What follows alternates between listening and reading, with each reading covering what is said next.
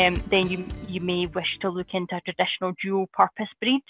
Um, you've got your, your specific layers, you've got your specific meat birds, um, so not very dual purpose. Those ones are, are much more specialised. And then just at the end there as well, you do have show birds there. They're mostly there for their looks, bless them. Um, the pure breeds are sometimes less likely to be vaccinated. We'll go through that in a sec. Um, but just so you're aware, if you are buying small quantities of slightly fancier birds from uh, a small producer, they may not be fully vaccinated against absolutely everything that you can think of. The egg laying pure breeds tend to be less prolific layers than your hybrid layers, which are your, your sort of commercial layers. Um, they do also have less extreme body types. So your meat purebred birds or your dual purpose purebred birds, um, they're not going to be your massive kind of slightly overly chunky uh, meat chickens that you would see in a supermarket. Um, if you do want to learn a little bit more about the types of purebreds, um, there is a website called poultrykeeper.com which has a list of, which I find quite handy, not just the breeds themselves, but roughly what type of layer they are. So if they're really, really poor layers, it'll tell you how many eggs you would expect a year from them.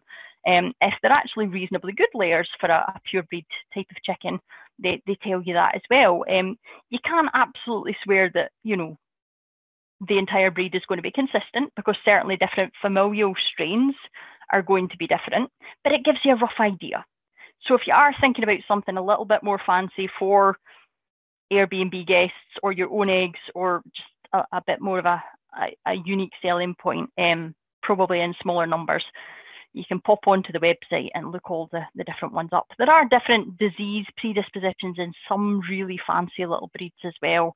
Um, you might have heard, for example, that the wee silkies, the ones at the top there, they're a little bit more predisposed to, to something called Marek's disease, which is, is something you may hear a lot of on the chicken forums.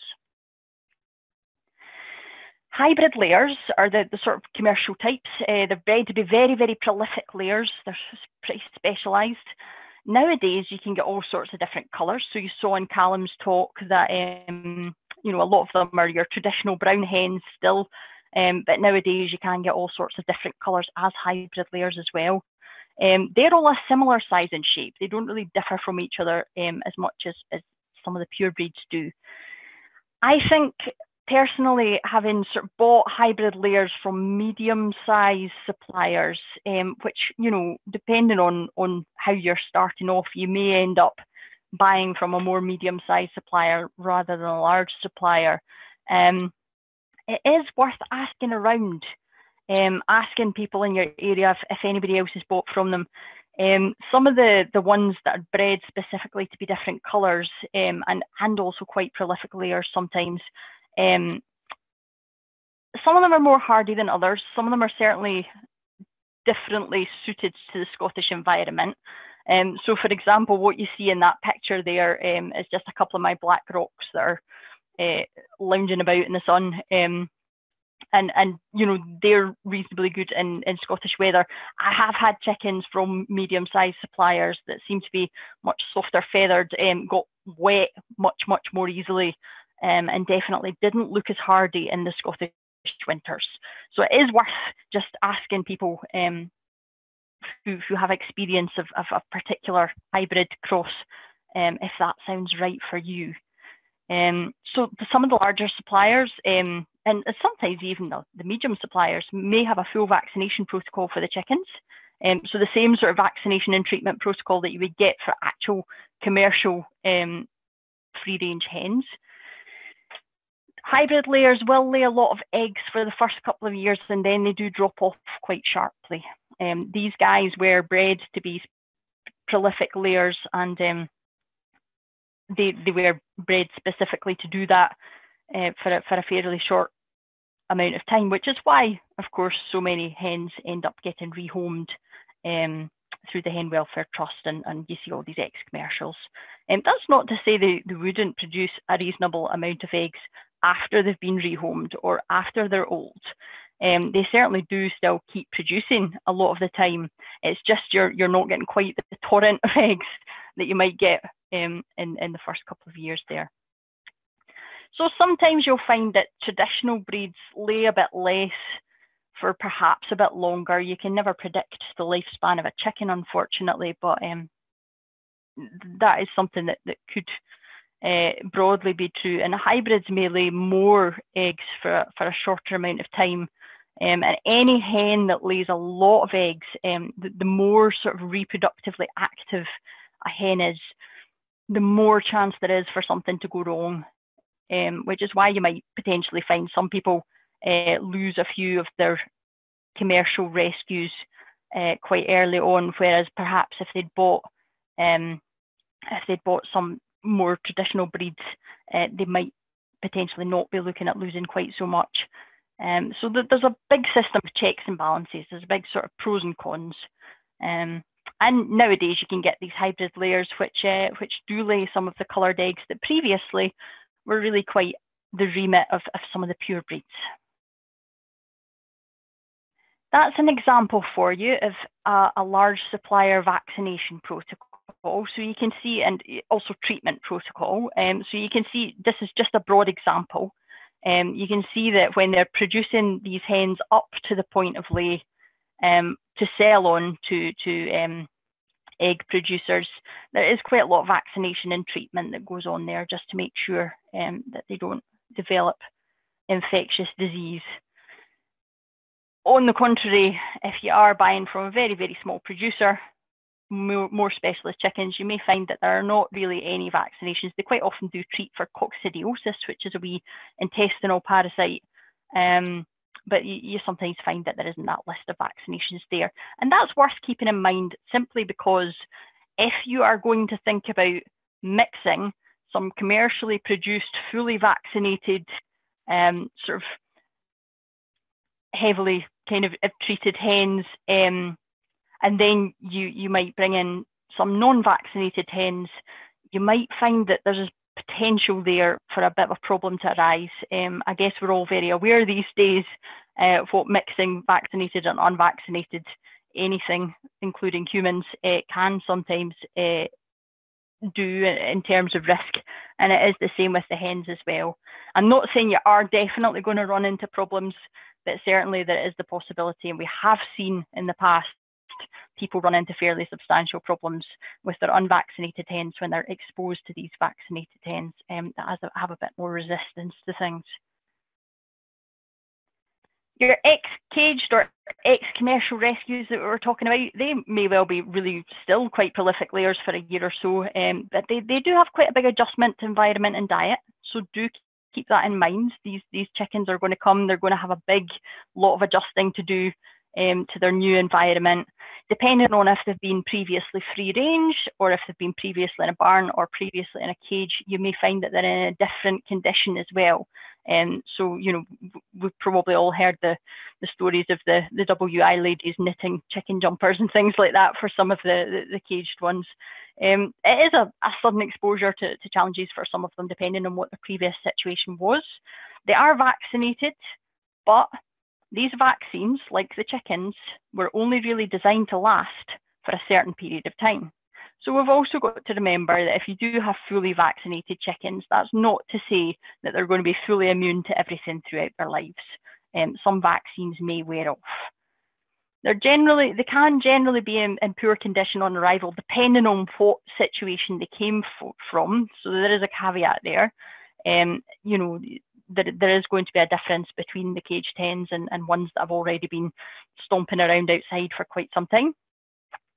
And they can carry diseases asymptomatically. So that might mean that these chickens look perfectly healthy to you when they come in, but then you might potentially have an outbreak if you're mixing them with some of your own chickens. Again, that's not to say you're definitely going to have problems. It's just to say these are some things that you can watch out for. Production cycle for layers, if you're just about to start getting your chickens, you're probably thinking about buying them in at point of lay, roughly 18 plus weeks of age for your hybrid layers. Um, could be quite substantially longer for some of the traditional breeds. They tend to be laying quite happily at about 20 to 22 weeks of age, but again, that does vary. They'll lay for around about 9 to 12 months, um, so you can get up to sort of 270 eggs if they're on a seasonal pattern. So we'll talk about artificial lighting shortly. and then they, they do also have a molt period, um, which can sometimes be between 8 and 12 weeks, where, where you get fewer eggs or sometimes no eggs. And to be quite honest, although that is the generally accepted seasonal um, pattern for chickens, I find sometimes mine's molt in between that as well. Just little, little mini molts where you just get a wee bit less eggs for, for a couple of weeks. Um, depending on big weather changes and, and so on, you sometimes get a little mini molt. And then in your second laying cycle for the commercial hybrid layers, you sometimes find um, in their second year there is about a 15% drop in egg production. That's not a huge amount. They're still they're still working hard. If you are thinking about your housing just now, or if you've already got hens and you're thinking about expanding so that you can sell a few more, um, there are a lot of different types on the market. Um, do check when they sort of recommend to you what the maximum number of hens is, what hens they mean. Some places will say a maximum of X number of hens, and what they really mean is a maximum of small hens. And then if you have quite large hens, you actually are looking at much less. So they might say maximum of 20 hens, and it turns out they mean maybe 20 bantams or 15 proper sized chickens. So just double check that, otherwise you might find you're overcrowding. You might want to think about what you want roofing wise. We're going to talk about red mite briefly. Um, any crevice that you can't get in there and wash, so for example, under the roofing felt where all the beams are, um, could potentially be a bit of a, a pain if you do get something like red mite. So have a think what your material is going to be um, for, for your, your roofing. And the same if you're converting any existing sheds, do you want to keep that felted roof or do you want to maybe replace it with something else um, so that you can clean it out if you do get red mite? There's plastic coops, there's wooden coops. Um, that is going to depend pretty much on whether or not you're retrofitting something, what your preference is. Um, whether or not you just want something that's really easily disinfectable and clean. Um, obviously, the size of your flock as well, 20 chickens is a very different proposition from 200. Um, and uh, in addition to cleaning as well, you're going to want to think about um, refreshing the ground or whether or not that's going to mean movement or whether it's going to mean um, having enough space for them to constantly free range instead. So you've got different types of chicken tractors there as well, one with the run attached and one where you're just moving the house from, from place to place and then there's quite substantial free ranging outside that. You do want to check if you're going to go for the run option that there is enough space, uh, same with paddocks sort of in, in between the, the kind of massive free range and, and sort of smaller runs. Um, you can divide the, the ground up into to smaller paddocks. Um, versus completely free range.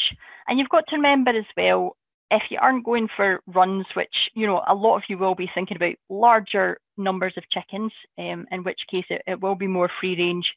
Um, you've got to think about contact with wild birds. That's quite important, and we'll, we'll um, show you why um, with regards to, to bird flu and things as well. Um, environmental enrichment is really important. Places where they can go um, to, to have a wee dust bath, areas, if possible, that they can get into a bit of shade. Um, these are all things that you can think about down to, to your climate particularly. Um, there's obviously a huge difference between the southeast of Scotland and the, the northwest of Scotland. Um, so it really does depend if you're trying to keep them out of the wind or if you're trying to keep them out of the rain or if very, very occasionally you're trying to give them somewhere to get out of the, the sun. So, and if you do have Airbnb on your mind um, or farm stay, that kind of thing, and you want the free rangers around just to add a bit of character, just do be aware they're terribly messy. If you haven't had them before, um, they will just come and poop on all your furniture and peer through the windows. They're an absolute delight to have around, but if that is one of the things that you're thinking about um, for your, your egg layers, then do keep that in mind. A good power washer um, and, and a broom for the patio. If you're retrofitting some existing buildings, you'll probably be thinking mostly about um, nesting, installing nesting boxes and perches.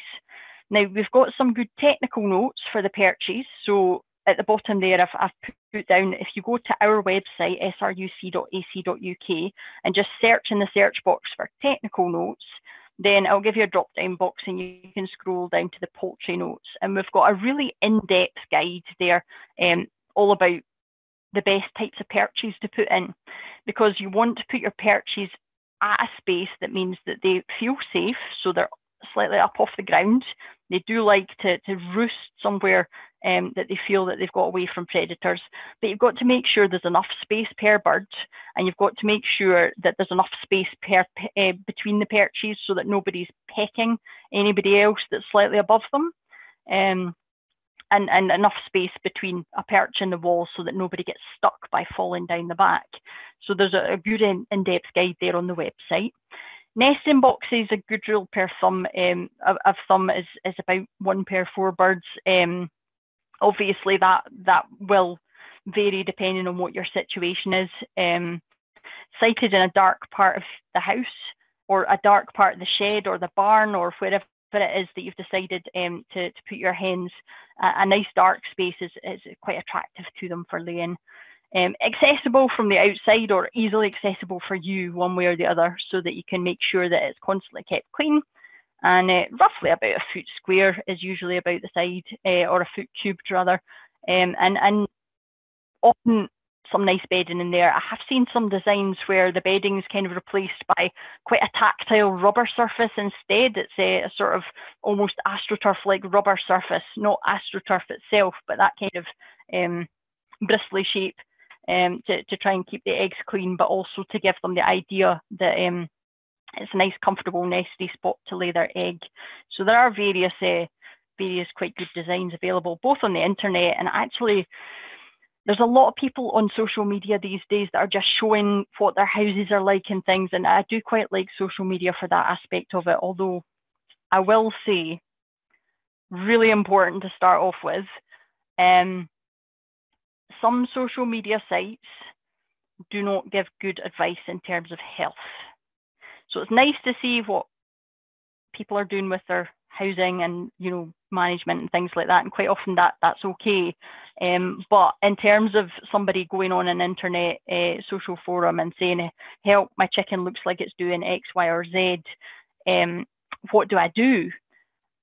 quite often the, the advice that comes back ranges from not ideal to really illegal um, in terms of, of, veterinary advice from, from unqualified people. I mean, dangerous and really welfare unfriendly advice. So um, it is a good idea to, to get a few, I, uh, a few sort of sources of information that are quite trustworthy. Um, for example, one of my favourites for disease symptoms is a website called chickenvet.co.uk. You can search for your bird symptoms on it. It is run by vets. Um, it's quite comprehensive. It, you know, it's, it's reliable information. Um, it's, it's quite a good source of information if you are looking for anything about that. Lighting wise, if you're going to aim towards a continuous supply of eggs, so getting a bit more commercial, um, you're going to want to think about installing artificial light lighting. Laying hens do prefer a constant day length of about 14 to 16 hours um, for guaranteed persistency of egg production. So we're talking going into the autumn here um, when most um, free range hens, if they're not sort of housed in a, a kind of commercial environment, if they're not housed in a, a more artificially lit environment, then you'll find that they, they start to fall off with their egg production. Um, so retrofitting a coop or retrofitting a barn or whatever, um, if you haven't done that before with uh, with artificial lighting, can help to, to deal with that and, and increase your egg production. If you do notice any adverse behaviour once you've installed that, so bullying is a bit of a problem in chickens to the point of potential cannibalism. You have to get in there and nip adverse behaviour right in the bud um, if you do have the that sort of thing setting in after you you increase the light levels, you might have to think about reducing them. Maybe not permanently, but certainly until things settle down, and then perhaps increase them a little bit again. Um, it's definitely worth taking advice if you see that and acting quite quickly if you do. Diet's fairly self-explanatory. Layers ration is going to be the, the most likely thing that people are, are going to, to go for um, because the chickens are most often bought at point of lay, if you are rearing your own chickens, you're going to have to think about a grower's ration, um, which is, is a different formulation instead. a bit of grit or oyster shell, depending on how you've housed them. Free range hens can quite often pick up a lot of their grit. Um, hens and runs definitely need a bit more of a, a supplementation. Um, it's good stuff to have around one way or the other. You can get nutritional deficiencies if they're on the incorrect diet or if treats are fed at inappropriate times. They should be filling their, their crops morning and evening with layers ration. Um, so try to time any treats mid-afternoon um, to, to make sure they don't stuff themselves um, with the less nutritious stuff. And no kitchen scraps, I'm afraid. That isn't, that isn't legal in this country. Um, garden scraps are fine in moderation, but try not to, to give them any long grass clippings. A brief whistle stop tour of some of the diseases that influence the advice that we've just given you or the points that we've just asked you to consider when you are expanding or when you are starting out. You'll hear a lot about Marek's disease. You might have spotted it on the vaccination protocol for, for, for the, the commercial hens earlier. I, have put a common problem question mark there because it's probably not as common a problem as it seems. Um, if somebody goes on a chicken website and suggests that their hen is lethargic, um, a lot of people are going to suggest to them that it's Marek's disease, and it could be quite a few other things. Um, I, uh, for the last 10 years, have been doing the post-mortem examinations in Perth. We're unfortunately closed at that site now, but um, the, the backyard or small flock um, post-mortems that we had from either commercial road end uh, egg sellers or, or hobby flocks, um, the Marek's wasn't quite as it wasn't nearly as common as, as as it turned up in the, the history of the bird that you'd kind of brought in. So, you know, almost always it would say suspect Marek's disease on the paperwork um, when we were taking the, the animal in. And it, it, it wasn't Marek's disease as often as that. So you will see it talks about a lot it usually presents as a gradual progressive leg weakness or paralysis. Sometimes they go blind, but you usually see it if you're going to be buying in your hens, you would normally see it in the younger ones. So around about the point of lay when you bought them in. They can get Marek's disease much younger, but if you're buying in chickens at point of lay, that's when you're really going to see it. If you've got a six-year-old hen that's gone down with something, it probably isn't going to be Marek's disease. It's probably going to be something uh, something else. It tends to be the younger ones that, that go down with it. There isn't an effective treatment, which is why people are so worried about it. Control in commercial flocks is usually based on vaccination as day old chicks. So you can't really buy a point of lay chicken and then get it vaccinated for Marek's disease. It is actually part of the chick um, vaccination protocol that, that the people who hatch them and, and rear them on for selling would do. You can think about keeping adult birds and very, very young birds apart for, for as long as possible when you've bought them in. Um, I'm not talking absolute ages, but you know, just to let them settle in, de-stress, um, because times of stress are definitely times that you're more susceptible to disease. Good hygiene. Um, if you have had a problem, you might want to think about talking to your vet about an all-in, all-out system at some point. We have unfortunately had some wee flocks that have had enough of a Marek's problem that they've decided that what they're going to do is they're going to stop with the chickens for a little while and then they're going to restart um, with cleaner ground and so on. That's not something to worry about right at the start, but just be aware, um, you know, it's one of the things that you're thinking about when you're buying in, when you're setting up.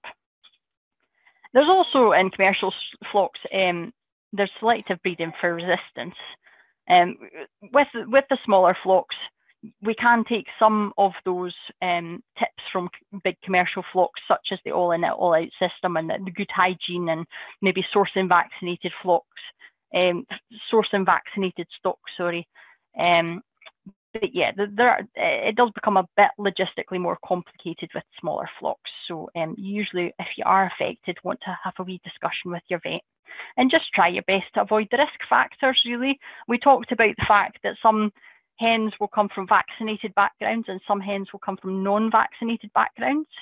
Um, Marek's disease vaccine doesn't stop them getting the disease, it stops them showing the symptoms. So if you've got a vaccinated chicken and it's had a Marek's vaccine, that chicken could still have Marek's disease to pass on to your unvaccinated chicken despite the fact that they both start off looking perfectly healthy. So that is, that is why we talk about that. Red mite is another one that you're thinking about when you're expanding or setting up, just because it has such a big deal, uh, such a lot to do with the house. They live mostly in the coop. They don't spend a whole lot of time on the chickens.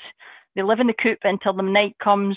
The chickens come in. They come out of the cracks in the coop. They come out from under the perches. They come out from under the roofing felt, and then they climb on the chickens and they have a little blood meal, and then they go back to the cracks that they came from they can live for a long time without feeding. And not previously a problem in Scotland, but slightly more in the last few years. Um, really hot heat sort of temperatures, um, warm temperatures, heat waves, uh, which we've had a little bit of in Scotland over the last few years, can really exponentially increase their life cycle. So they can they can reproduce very very fast when it's warm.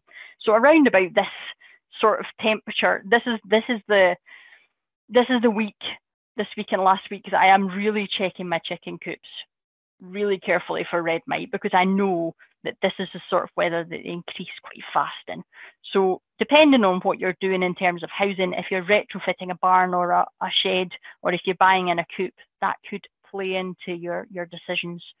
They can nibble on people too. They won't live on you. But if you find that you're getting really itchy when you're cleaning out coops, um, just have a good look at your, your arms and the crevices of the, the coop. There is another type of mite called the northern fowl mite. Um, they do live on the bird. They only survive a few weeks without feeding, but they are also a bloodsucker. Um, so when you buy in your birds, looking under the wings of some of them and looking around the vent of some of them, that's quite a good way to just double check that nobody's bringing in any mites. If they do have mites, they might be lethargic, fluffed up. There'll be probably quite a few of them affected. You can see a, a drop in the number of eggs you get. Um, and unfortunately, it can be fatal if you've got a really bad infestation. Feathers around the vent, they can become blackened with dry blood, or you can just see the mites there. So for example, for the northern fowl mite, this is the sort of grubbiness that you would see um, on, on the, the feathers around the vent. And red mites, this is what they look like. And as I say, you generally would find them in the coop rather than on the bird. Um, they all come in with wild birds. They're quite universal mites. So if you do have free range hens, then you are probably going to have to, keep a wee eye out that these guys haven't moved into your, your coop as well. That is a plant mite that always causes people to panic um, because you'll see them quite often in your garden when you're aware of them. Um, but there's a slight difference. You'll see the, the size of the legs. So proper red mite is it just looks like a little bean. Um, you don't really see the legs very much, and it's quite dark and shiny. A red spider mite that's eating all your plants. Um, he's got big long legs, and he's much more orange. And you'll quite often see him crawling around on your chicken coop. It can give people a bit of a panic treatment is kind of arduous. Um, it, it's it's very treatable, but it, it does take a bit of effort. Biosecurity is good, so think about treating your chickens on purchase. Um, with regards to your coop, if you do have a red mite infestation, you're going to have a really thorough wet cleaning. You're probably going to need good chemical disinfectants or house treatments. There are house treatments available for red mites as well. Um, you're going to be looking specifically for mite products, um, ones that do specify that they don't just deter mites, they actually treat mites because you'll see a lot of products that, that suggest they deter mites. That's not really much good if you've got a problem. Um, putting diatomaceous earth in the dust baths of the chickens um, can help them. It, it, helps them treat themselves. Um, the mites don't do well with diatomaceous earth. It's just a powdery substance. There are treatments that you can get from the vet, um, but they, they you know, the, there is going to be an egg withdrawal involved. So you, you are going to have to think about keeping your eggs away from sale for a specified period of time if you use a chemical treatment for the chickens themselves. In some cases, that will be unavoidable if you have a really bad infestation and you cannot get on top of it with your, your powders and your diatomaceous earth and your chemical disinfectants and your thorough cleaning of the houses. you may end up having to use uh, a proper treatment um, but it will come with an egg withdrawal. that's a couple of names of uh, disinfectants that are specifically thought to be particularly good for red mite. Steam cleaning is a possibility. Getting the right house design to start with, uh, either very take apartable, um, very sort of breakdownable, or with good um, materials that don't leave a lot of crevices. Um, if you don't see things getting better very quickly, it is something you want to have to chat to your vet about, um, just because it can can rapidly get quite quite bad. Um, and as I say, sometimes it can be fatal. I've certainly post-mortemed plenty of, of hens that have been part of a, a red mite outbreak. And the most important thing to remember is when you are treating the house and treating the hens and so on, you're going to need a repeat treatment a couple of weeks later. It's not just a one and done. That's why we say it's a bit on the arduous side. And the last thing to talk about really uh, tonight would be um, notifiable disease. Uh, there's a couple of those in Scotland. It's a disease that you have to tell the local um, veterinary office about, the local APHA office about. Um, one of them is called Newcastle disease. Um, it's something that would be very obvious. It's, it's usually nervous signs in your chickens, and you would want to speak to your vet about that quite quickly. The other one um, is bird flu, it's avian influenza, and we've probably, a lot of us have heard a lot about that this year. Um, for those of you that haven't kept hens, you may not be aware there was a big chicken lockdown uh, over winter last year, as well as a human lockdown. So, if you haven't come across that before, this is going to be a big decision maker for your um, for your chicken housing and for your idea of how much capacity you have to keep hens. There's a couple of really good posters available. Um, produced by the Scottish Government and partners. Um,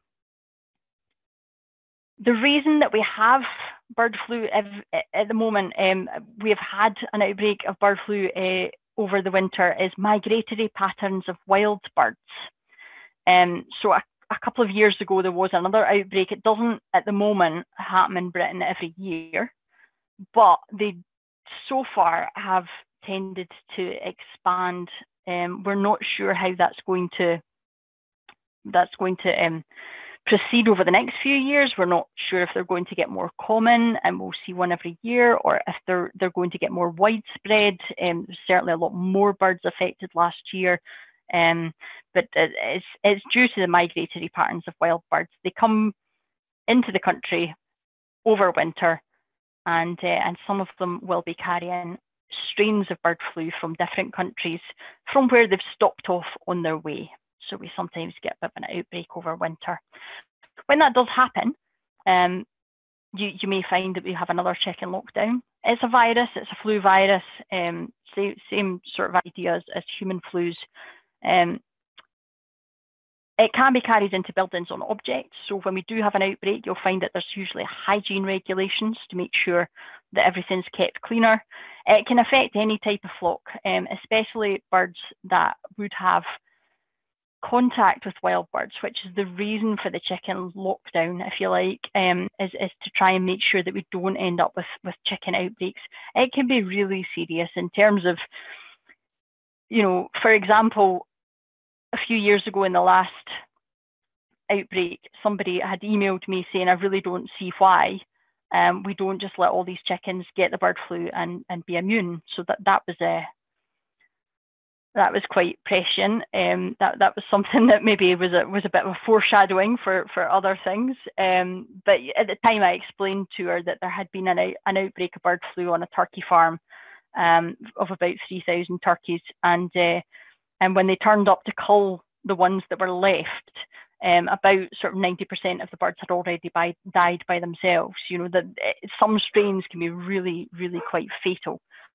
Um, so don't worry about it too much in terms of not knowing about it. Um, if something did happen to your flock, you would probably be aware of it very early on. And also, if you're registered, you'll be told when an outbreak is happening.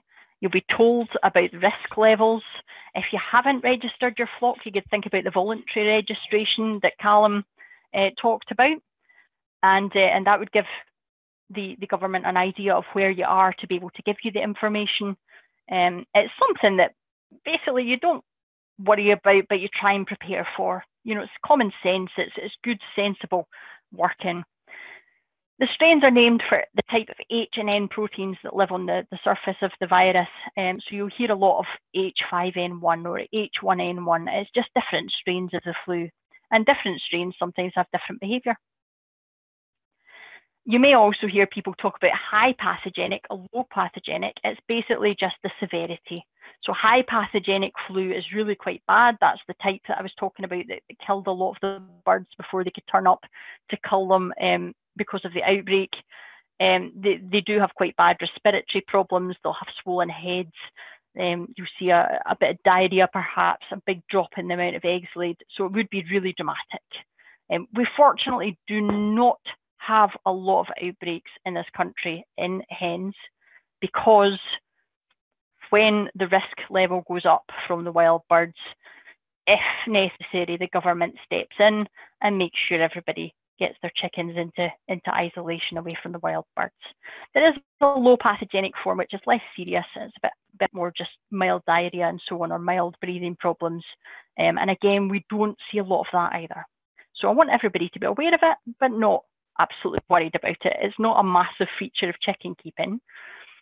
The main thing that you're going to have to think about if you're expanding to, to sell more eggs or if you're getting chickens is if we have another chicken lockdown over next winter or the winter after, and you're told you need to, to, make sure that your birds are kept away from wild birds. So that means housing them, or it means putting them in a secure run that birds can't poop through the roof of how are you going to do that?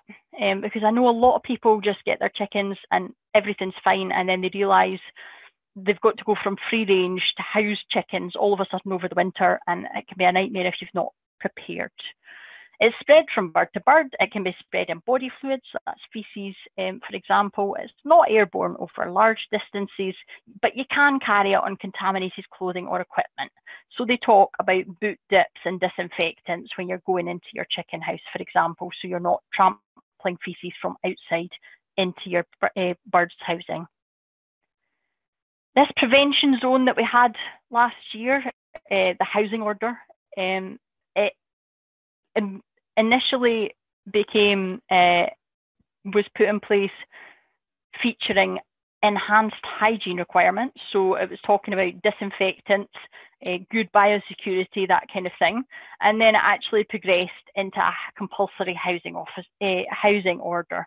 Um, and that's for, for the, the chickens, turkeys and ducks.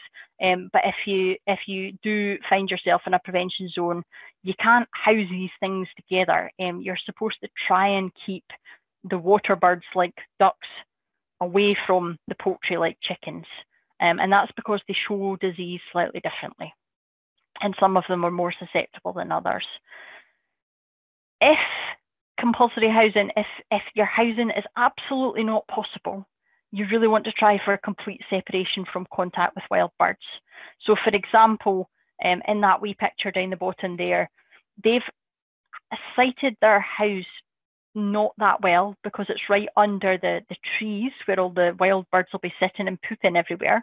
But on the other hand, they do have a covered part to the run, which does help. So you've got pros and cons in that picture there. Covered run is good, right under the trees where everything's sitting and pooping, not so good.